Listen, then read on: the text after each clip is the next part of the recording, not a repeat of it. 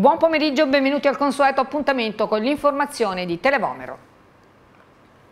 Tassisti di nuovo in piazza, Napoli paralizzata da uno sciopero che eh, penalizza il turismo che in città è ripartito dopo il Covid. 500 gli autisti in piazza del plebiscito. Circa 500 taxi hanno occupato questa mattina piazza del plebiscito a Napoli. Tornano a protestare dunque i tassisti in agitazione già da alcune settimane e per sopperire ai pesanti disagi ANM ha deciso di potenziare il trasporto Alibus per l'aeroporto, portando le corse da 8 a 15 e impiegando altro personale a bordo. Non è la prima volta che l'azienda deve ricorrere a questo tipo di misure speciali. Nei giorni scorsi infatti era stata occupata anche piazza Garibaldi, dove l'assenza di mezzi disponibili aveva messo in difficoltà decine di turisti che avevano dovuto fare ricorso ai mezzi pubblici per raggiungere l'aeroporto o il centro. Una delegazione di lavoratori era stata ascoltata dal sindaco Gaetano Manfredi, che aveva avuto anche un colloquio telefonico con il vice ministro alle infrastrutture Teresa Bellanova. I sindacati che hanno aderito allo sciopero nazionale proclamato dalla categoria protestano in particolare contro il DDL concorrenza, chiedono lo stralcio dell'articolo 10 che aprirebbe le porte all'arrivo delle multinazionali anche nel loro settore. Noi siamo, ormai siamo alla mercé di tutti è un, è un, problema che va risolto alla base perché sono stati venduti, si sono venduti a questa grande multinazionale che è Uber. Quindi la situazione è palese, devono dirci il perché di questo. Il mio pensiero è che se siamo tutti compatti si potrebbe arrivare ad un compromesso e si vede un pochino cosa fare. La protesta è illecita perché deregolamentare la cosa non, è, non fa bene a nessuna categoria.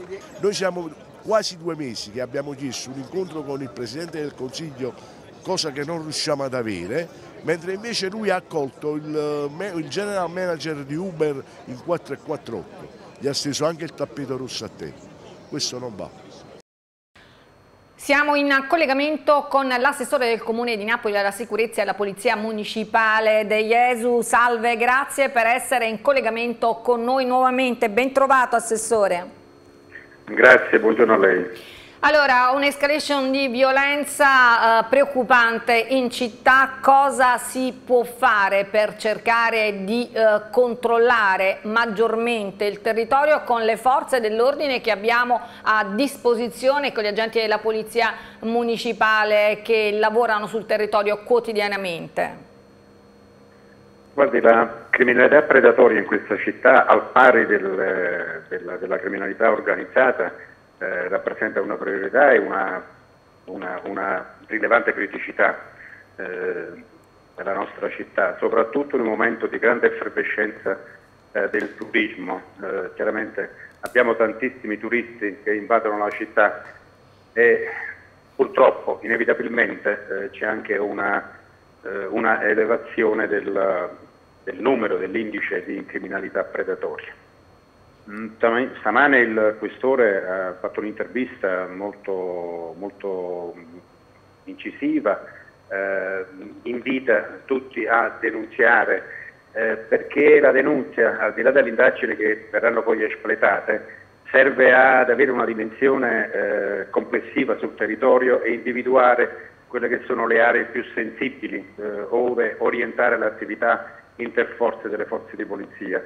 Eh, in questura è attivo un sistema eh, di, statistico anche in termini previsionali già da, già da, anni che consente di pianificare meglio eh, e più razionalmente i servizi di controllo del territorio. È chiaro che le aree eh, sono tante, eh, si fa un grande sforzo da parte delle forze di polizia, noi come Polizia Municipale siamo impegnati eh, soprattutto a diciamo, garantire adeguate condizioni di sicurezza urbana, nell'ottica sempre più di avvicinare la sicurezza urbana alla sicurezza pubblica.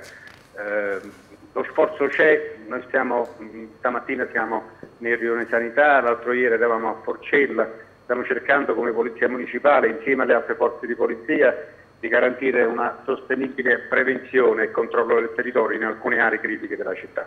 Certo, assolutamente anche dotando gli agenti della Polizia Municipale di strumentazione più adeguata e incisiva come la pistola laser? Guarda, la pistola da impulsi elettrici eh, ha un'altra finalità, è uno strumento di deterrenza, è uno strumento di deterrenza per far fronte a situazioni critiche, eh, non dal punto di vista criminale, eh, ma eh, dal punto di vista dell'atteggiamento aggressivo da parte di soggetti energumeni, eh, dove l'uso della, dell'arma eh, d'ordinanza non è opportuna e noi tentiamo eh, di dare maggiori strumenti per affrontare l'aggressività di tante persone, alcune ubriache, altre con gravi problemi psichici eh, e la sperimenteremo, eh, attiveremo una procedura di sperimentazione nelle aree di Piazza Garibaldi dove purtroppo i nostri vigili sono spesso chiamati ad affrontare situazioni che non sono diciamo, affrontabili con l'uso dell'arma eh, in dotazione.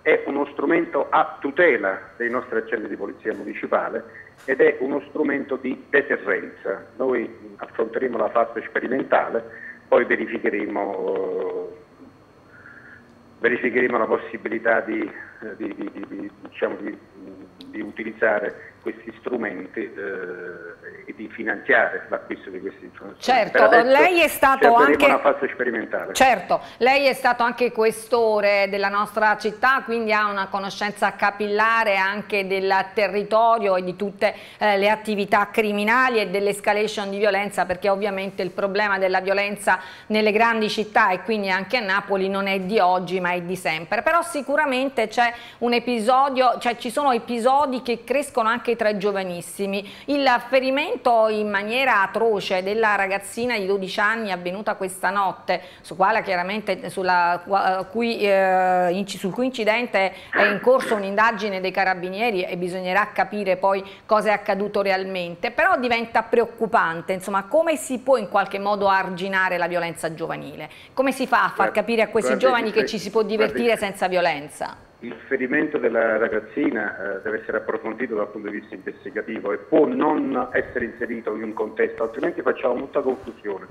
Eh, questo ferimento avrà delle motivazioni che ritengo, presumo, non siano attribuibili alla criminalità né predatoria né di criminalità organizzata, per cui io scinderei le due, le due cose, che ci sia un problema reale di abbassamento dell'età eh, di devianza giovanile, questo è un tema eh, due settimane fa i falchi arrestano tre minorenni dai 14 ai 16 anni che erano strutturati, sono entrati con un'arma eh, all'interno di un supermercato eh, e l'hanno rapinato con un motorino eh, anch'esso rapinato. Per cui il tema della sorveglianza giovanile è un tema serio, eh, è un tema attuale, molto attuale. L'età sta sempre pericolosamente e in maniera preoccupante si sta passando sempre di più eh, le dico ricette magiche non ce ne sono.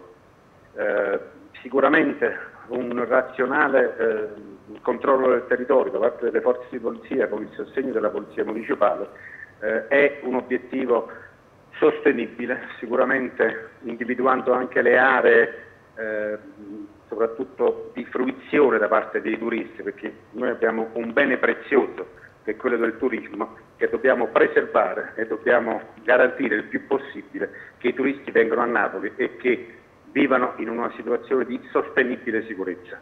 Certo, Assessore, ci dica prima di salutarci, chiaramente anche agosto sarà un mese da tutto esaurito per le strutture alberghiere, fortunatamente il turismo è ripartito uh, come nel pre-Covid e questo insomma, ci rende felici, ma per quanto riguarda l'organizzazione del corpo della, della, Polizia Municipale riuscirete a garantire uh, la copertura del territorio con i turni di ferie che inevitabilmente ci sono e gli uomini pochi a disposizione? Avete fatto un piano? Guarda, io, io uso spesso il termine sostenibilità. Eh, lo, lo, sforzo deve essere sostenibile eh, a, alle attuali condizioni. Noi come amministrazione comunale abbiamo dato un segnale forte eh, sul piano della sicurezza urbana, prevedendo nel fabbisogno assunzionale su mille eh, dipendenti di vari profili, 250 eh, tra ufficiali e agenti di, eh, della Polizia Municipale, perché questo è un segno concreto eh, che sulla sicurezza urbana e per quanto riguarda le prerogative della Polizia Municipale uno sforzo concreto, noi lo stiamo facendo, in concenza di risorse limitate, ma un quarto del fabbisogno assunzionale destinato alla Polizia Municipale è un segno concreto, perché il nostro obiettivo è migliorare la presenza sul territorio eh, del, degli ufficiali delle azioni di polizia giudiziaria per garantire eh, maggiore efficienza, maggiore operatività sul territorio. Allora, Assessore, noi la ringraziamo, naturalmente le auguriamo buon lavoro, arrivederci. Grazie a lei, grazie. Parco della Marinella in curia e degrado, un rilancio atteso da troppi anni ormai. Il ritrovamento di un cadavere in avanzato stato di decomposizione la scorsa settimana ha riacceso i riflettori, qualora ve ne fosse bisogno, sullo stato di degrado ed abbandono della zona del Parco della Marinella. L'area alle spalle di Via Marina, che da 25 anni attende di essere ripristinata, oggi resta una discarica a cielo aperto e un ritrovo per disperati. I lavori sono fermi in attesa della bonifica. L'assessore al verde del comune di Napoli, Vincenzo Santagada, fa il punto della situazione. Al momento i lavori sono fermi, penso in settimana si firmerà l'accordo quadro con eh, l'azienda che si è aggiudicata sia il trasferimento, la caratterizzazione e smaltimento dei rifiuti. E sottolineo che sono rifiuti diciamo, che da eh, almeno 20 anni sono stati allocati in, que in quell'area. Parallelamente dovrebbero riprendere anche i lavori per quanto riguarda il recupero del manufatto diciamo, del ristoro, così come la, la piantumazione e la perimetrazione delle aree. Beh, la tempistica dipende assolutamente dal, dai tempi richiesti per la caratterizzazione e smaltimento dei rifiuti, però eh, penso che nella prossima primavera il parco ecco, dovrebbe essere consegnato ai cittadini dopo circa 30 anni. L'obiettivo è trasformare quest'area di oltre 3.000 metri quadrati da simbolo di abbandono a polmone verde della città. L'assessore Santagada sottolinea il lavoro svolto sin qui e lancia un appello ai cittadini affinché contribuiscano al decoro urbano. È frutto di fenomeni di uh, abusi illegali chiaramente il primo passo è proprio il trasferimento e caratterizzazione e smaltimento dei, dei, dei rifiuti, che è stata fatta una gara, è stata aggiudicata da un'azienda per 1.500.000 euro, subito dopo riprenderanno anche i lavori, come ho detto, per quanto riguarda diciamo, sia la riperimetrazione dell'intera area, così come anche per la ripiantumazione delle aree al verde. Insomma ci stiamo muovendo, ma chiedo anche la sinergia da parte dei cittadini, perché vedo che molte area verde, ma non solo, sono piene di rifiuti e questi rifiuti non, eh, non piovono dal cielo ma piovono attraverso alcuni atti indisciplinati dei cittadini. Mare inquinato, la campagna con chilometri e chilometri di costa non decolla. Su 31 siti che si trovano lungo le coste della Campania sono 14 quelli le cui acque risultano inquinate o fortemente inquinate, mentre i restanti 17 rientrano nei limiti consentiti dalla legge, tra cui il lungomare Caracciolo di Napoli. È la fotografia che emerge dall'attività di campionamento effettuata, come ogni anno, dai volontari di Goletta Verde, storica campagna di Lega Ambiente dedicata al monitoraggio e all'informazione sullo stato di salute delle coste e delle acque italiane. I campioni sono stati raccolti tra il 19 e il 30 giugno. In particolare sono stati analizzati 5 punti nella provincia di Caserta, 8 nelle province di Napoli, 14 nella provincia di Salerno e 4 nell'isola di Ischia. Il 51% dei campioni d'acqua è stato prelevato nei punti critici e il 49% in mare. Dei 16 punti prelevati in prossimità di foci e canali, 10 risultano fortemente inquinati, 2 inquinati e 4 entro i limiti. Per quanto riguarda invece i campioni prelevati in mare, 2 punti sono risultati inquinati e i restanti 13 entro i limiti di legge. Anche quest'anno si registra una fotografia delle coste campane tra luci e ombre, ha sottolineato Francesca Ferro, direttore di Lega Ambiente Campania. È una situazione che conferma ancora delle criticità, alcune le conosciamo, sono ormai croniche nella nostra regione, sicuramente c'è un lieve miglioramento su alcuni punti, però noi confermiamo ancora la nostra richiesta di mettere mano alla depurazione in questa regione e ci auguriamo fortemente che i fondi del PNRR che sono stati stanziati per la depurazione e per il sistema fognario vengano utilizzati sapientemente per andare a risolvere ormai delle situazioni croniche e inaccettabili. Qualcosa si fa eh, sicuramente, ma sembra troppo poco. Eh, ripeto, la centralità è la depurazione, su quella che è assente o è cattiva bisogna intervenire, non possiamo più rimandare, lo dobbiamo ai cittadini e anche a, a una regione che con la risorsa mare vive e fa anche economia. Goletta Verde è, eh, diciamo, scatta una fotografia della situazione insomma, delle coste, ma è importante perché coinvolge anche i cittadini in, questa, eh, in questo percorso, perché c'è un numero, c'è la possibilità di segnalare attraverso SS Goletta anche delle situazioni critiche e i cittadini sono parte attiva di questo momento di monitoraggio. E quindi questo è fondamentale, senza eh, l'aiuto dei cittadini noi non, non potremo mai chiedere ai decisori politici di intervenire in maniera costante e diciamo, puntuale su queste questioni. Siamo in collegamento con il sindaco di Capua, Adolfo Villani. Salve, grazie per essere collegato con noi. Ben trovato sindaco.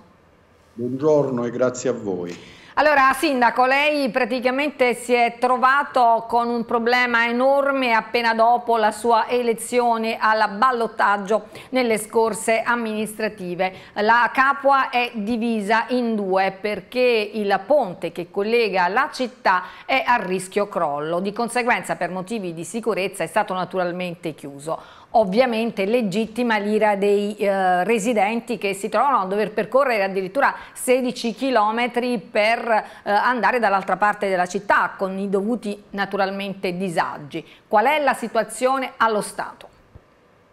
Ma allo Stato noi stiamo effettuando dei saggi già da ieri mattina eh, per capire la parte, diciamo così, nascosta del ponte e in che condizioni si trova, perché eh, ciò che è accaduto è questo. Giovedì c'è stata segnalata una crepa eh, sul manto del ponte all'altezza del primo foro. L'ingegnere ha effettuato una prima verifica, è nata l'esigenza di un approfondimento. Il giorno dopo, con una società specializzata e con l'ausilio di un, eh, di un tecnico del settore, di, di un professore universitario eh, esperto in ponti, eh, si è fatta una verifica delle arcate di tutta la parte esterna ed è emersa una situazione preoccupante perché eh, l'arcata in sinistra idraulica presenta eh, una compromissione seria, eh, diciamo ci sono ferri corrosi eh, al 30%, 40% diciamo, del, eh, del livello eh, è stata vista anche che nei fori c'era dell'acqua, per cui questo faceva presupporre che anche la parte nascosta, quindi la parte sotto il manto, potesse presentare problemi simili di corrosione dei ferri e di polverizzazione eh, del cemento. Eh, per la verità, eh, da queste prime indagini, insomma, la situazione sembra un po' più confortevole, nel senso che eh, i due giunti, sui, quelli sui due fori, eh, si presentano in condizioni buone. Ora si sta ispezionando con delle telecamere, sono stati fatti dei fori ovviamente in diversi punti del manto e eh, si sta ispezionando un po' la parte più profonda. Al termine di queste indagini ovviamente noi faremo una verifica di sicurezza, prima della verifica di sicurezza anche una prova di carico e saranno questi esami che ci diranno come andare a rivedere eventualmente l'ordinanza di chiusura, che le ricordo è un'ordinanza di chiusura temporanea. La situazione è grave perché anche l'altro ponte. Eh, infatti, spieghiamo, Sindaco, mi perdoni. dalla magistratura. Sindaco, e, mi perdoni un attimo, eh, parliamo, per essere chiari con i nostri telespettatori che ci seguono da casa. In realtà, questo è il ponte eh, romano, il ponte antico che è stato chiuso, ma ponte, esiste. Il ponte cosiddetto, cosiddetto romano, cosiddetto romano. nel dopoguerra, perché il 9 settembre del 1943 furono abbattuti entrambi i ponti della città. Però esiste un altro ponte chiuso dal 2018 sì, esatto. Quindi praticamente entrambi i ponti, quindi la situazione diventa veramente eh, assurda e paradossale perché dal 2018 al 2022, pratica, dal 2018 al 2022 perché non si è provveduto comunque a mettere in sicurezza l'altro ponte visto che chiaramente insomma, il problema si poteva presentare all'altro ponte? Perché ci sono stati degli errori che vengono dal 2008, questa è una storia aperta dal 2008, nel 2018 è intervenuta la magistratura per chiedere il ponte e la magistratura è intervenuta perché di fronte ad, ev ad evidenti problemi il sindaco di allora fece un'ordinanza per interdire il ponte al traffico veicolare ma non pedonale e fu questo a far scattare la verifica della magistratura e il successivo sequestro. Ecco perché io questa volta ho dovuto chiudere anche al traffico pedonale. Quindi altrimenti... diventa veramente diciamo, oh, pericoloso e difficile per i cittadini raggiungere l'altra parte della città. Esiste anche Villa Fiorita, insomma un presidio ospedaliero che è sì, dall'altra sì, parte. Però delle, delle, risposte, delle risposte le abbiamo date. Eh, da ieri staziona un'ambulanza del 118 proprio nel piazzale di Villa Fiorita che ha dato la sua disponibilità a supportare logisticamente la presenza di un'ambulanza in zona. Ieri ho incontrato anche l'amministratore unico eh, di Air Campania, eh, ho fatto un'istanza eh, per attivare una circolare da che colleghi la zona di Porta Roma, quindi la zona nord con la zona sud della città. Domani alle 14.30 vedo l'assessore al ramo della regione e verifichiamo se in pochi giorni riusciamo ad avere anche una circolare. Mi sto muovendo anche nei confronti delle, del, de, delle ferrovie dello Stato perché sulla linea eh, Cassino c'è un ponte di ferro che attraversa il Volturno e, e mm, che potrebbe diciamo, essere utilizzato proprio dal quartiere di Porta Roma per un collegamento rapido con la stazione ferroviaria di Capua che si trova nella parte sud della città. Posto il problema stamattina al capo di gabinetto del prefetto, penso che nei prossimi giorni ci saranno delle riunioni e verificheremo anche quest'altra possibilità. Però ovviamente in questo momento è fondamentale l'esito delle analisi, perché da queste dipendono i tempi della chiusura totale del ponte. Tenga conto, pronto? Sì, sì, la sento, la sento sono ancora in linea. Sì, Tenga sì. conto che io ho chiesto anche l'intervento del genio militare, l'ho chiesto già nel vertice che c'è stato in prefettura venerdì sera.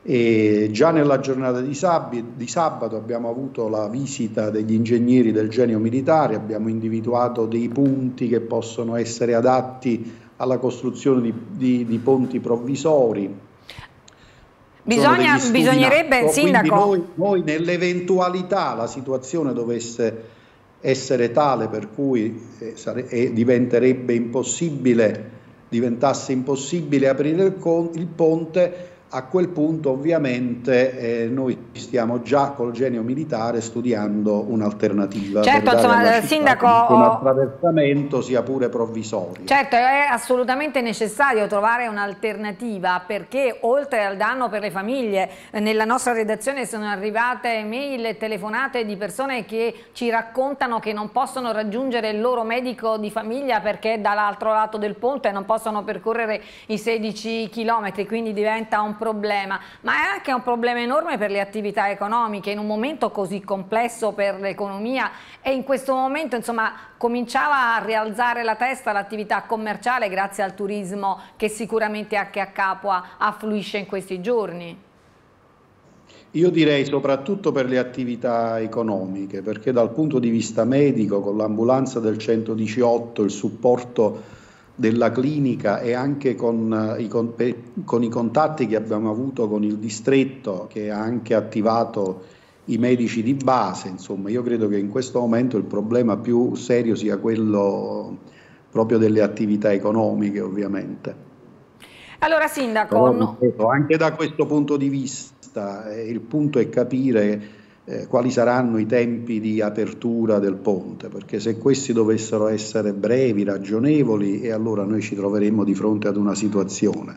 Se la situazione dovesse eh, diventare più seria, e allora è chiaro, io valuterò anche la, la, la, la, possibilità di chiedere uno, lo stato di emergenza. È chiaro, insomma, anche perché insomma, il ponte Quello deve essere messo in sicurezza. Perché... anche di dare delle risposte sul certo, piano economico. Che Però, il ponte debba essere diciamo, messo in sicurezza non v'è dubbio, perché chiaramente la sicurezza dei cittadini è eh, priorità assoluta. Però facciamo in modo che la burocrazia non allunghi i tempi per risolvere un problema problema. Ponte in sicurezza nel più breve tempo possibile, questo Guardi, deve essere l'obiettivo. Da, da, lunedì sono in corso i saggi, quindi da ieri, da ieri mattina. Tenga conto che il ponte è stato chiuso sabato, poi c'è stata la domenica. E, pro, si, si, mi, mi sente? Sì, sì, la sento, la sento. La sento, la sento. che le immagini si sono fermate. No, no, la sento. Dicevo, la sento. noi da stiamo effettuando, quindi stiamo correndo, stiamo correndo.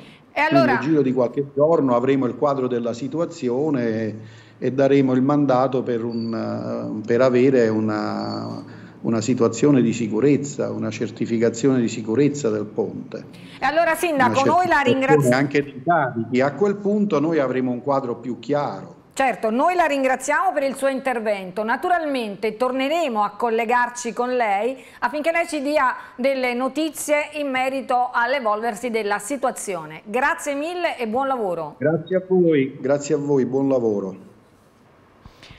Memorial a Michele Siani a Vietri sul Mare, emozione per la quinta edizione nel ricordo del medico dei bambini scomparso prematuramente nel 2017. Quinto Memorial Michele Siani a Vietri sul Mare, evento dedicato nel giorno del compleanno del medico dei bambini, scomparso prematuramente nell'agosto del 2017, al ricordo. Nel corso della serata celebrate anche la terza edizione del premio Prendersi cura con il sorriso, assegnato al pediatra gastroenterologo Basilio Malamisura e il quarto premio speciale Giovanni Battiloro, assegnato al giornalista Carlo Verna, il papà di Giovanni, Roberto Battiloro. Sono quattro anni che Vietri e la famiglia Siani mi accompagnano in questo lungo viaggio che mi ha portato a combattere per quattro anni per vedere questo processo partire. Domani parte il processo nella prima parte più delicata, quella del primo grado di giudizio. Noi siamo felicissimi, è un traguardo che abbiamo raggiunto anche noi come famiglia Battiloro perché abbiamo partecipato a tutta la prima fase con una perizia privata nostra che ha evidenziato gli ammaloramenti del ponte Morandi. Siamo riusciti ad ascoltare le improverbie di tutte le persone che dicevano che era solo una suggestione. Diciamo che ce l'abbiamo fatta. Brigida Siani, vicepresidente dell'associazione intitolata al padre, spiega. Con il quarto premio speciale Giovanni Battiloro, che eh, non solo per noi eh, è una delle 43 vittime del ponte Morandi, ma è diventato, come il suo papà, la sua mamma e sua sorella, parte della nostra famiglia. La consegna dei premi è stata preceduta da una tavola rotonda sul tema gestione del post-pandemia. Ci siamo? A cui ha preso parte anche Franco Bonaguro, virologo e primario emerito dell'Istituto Nazionale dei Tumori, Fondazione Pascale. Beh, ehm, sì, c'è di fatti un aumento del, dei casi di, di, Covid, o diciamo in maniera corretta, di infezione da SARS-CoV-2. Eh, questo si è registrato un po' dappertutto eh, si parla in questi giorni di, un'ulteriore variante indiana, però eh, in effetti ehm, per quello che abbiamo, insomma, l'esperienza che ci siamo fatti negli ultimi mesi è che eh, le varianti che camminano più velocemente sono meno patogeniche, quindi in generale non ci aspettiamo dei grossi picchi eh, di patologie severe e, mh, però ovviamente se i numeri aumentano molto, quindi un certo numero di persone suscettibili, quindi che eh, avrebbero avuto problemi anche con il morbillo, con l'influenza, cioè ognuna di queste infezioni respiratorie poi di fatto ha una certa percentuale di casi con una maggiore gravità. Il morbillo è davvero tutto, grazie per essere stati con noi, un piacevole pomeriggio, ci ritroviamo come di consueto nelle prossime edizioni di Televomero Notizie, arrivederci.